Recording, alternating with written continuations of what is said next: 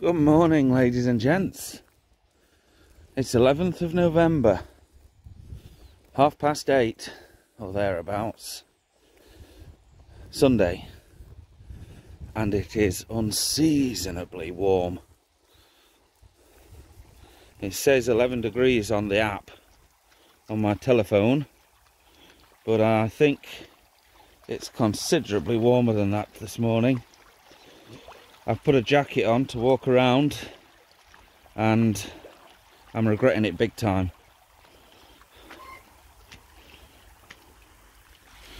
And also, the Ford isn't as slippy as usual, which is a good thing.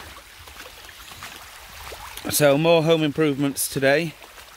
We'll be going back to the house in a short while to talk about a few things and show you the progress but we've started to take down the little porch area that we've got at the side of the house. And uh, we have to make some applications to uh, build over temporarily a gas main which is going to have to be relocated but we can't relocate it yet because we don't have the wall yet. And also um, build over permission for a sewer that runs power, parallel to the side of the house. We're not building over it, but we still have to do a build over application apparently. So after we've walked the dogs and had some breakfast, then we'll get cracked on with it. I fancy eggs today. Oh, and look how misty it is. It's gorgeous. Don't you think? Oh my goodness, so after this morning's walk, the time is now 10 past 3. Ah, I've got a bloody dog hair in my mouth. I'm enjoying a sweet Thatcher's, which is sweet to me anyway, because I need the sugar. So we've not really done a thing in the backyard today. That's as it was left. But through here, you'll notice that all the side of the porch is now gone. See the neighbours through there and you can also see the elevation change. See that's their floor level there. So Gemma's just sweeping up after me but we've dug five meters of trench into where the porch wall was. And obviously that wall is now going to extend up to be the new um, party wall if you like. Uh, we've shuttered this section in temporarily. It's not going to be shuttered for the concrete pour but just to prevent any unwanted cave-ins.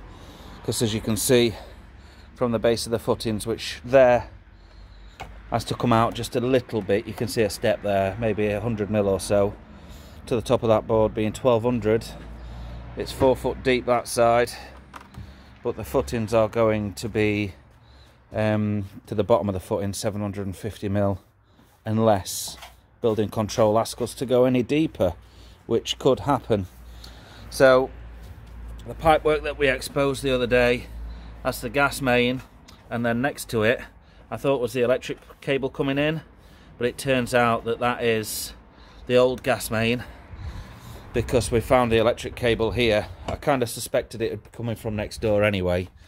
So that's one of the reasons why we've hand excavated all this. Plus it saves us on digger hire. And we've only got five metres left to go before we break through that back wall and into the end. And also just that little section there. Just this.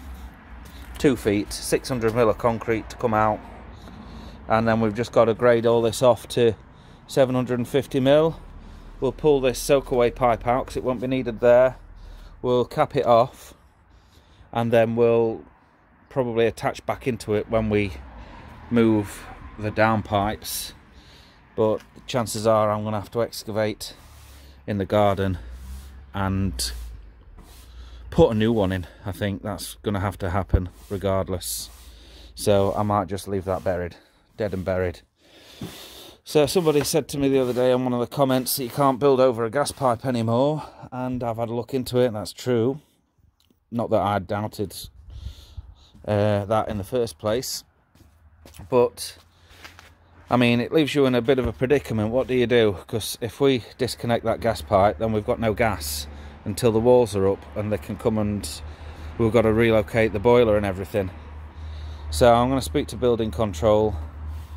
I'd assume that we build over it temporarily and then as soon as the walls are up and the roof is on we get Cadent out and they install a new gas meter outside of the footprint. I don't see any other way of doing it frankly and every single builder I've seen on YouTube have just built straight over them. So we'll see what happens with that. But I don't think we can be left without gas.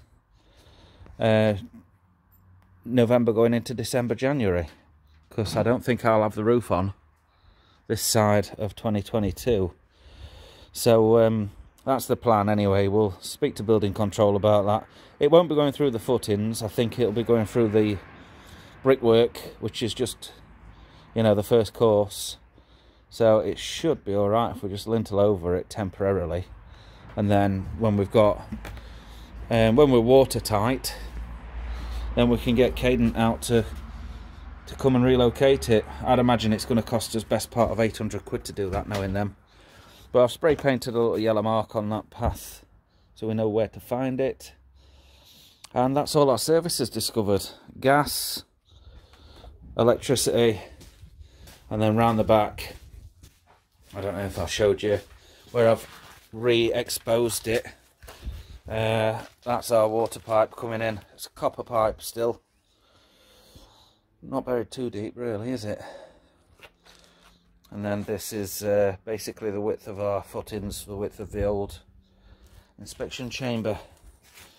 But that's it. So we've got to go now from that section there and just connect up to there, which is about approximately five meters because this will be a 10 meter wall or thereabouts when it's finished. So there we go, ladies and gents. That's another little update on uh, our self-build extension project. I think this is now video four. Cheers. Thatcher's dead, 100%. Oh no, it's Thatcher's gold, 4.8%. Anyway, we'll see you on the next one.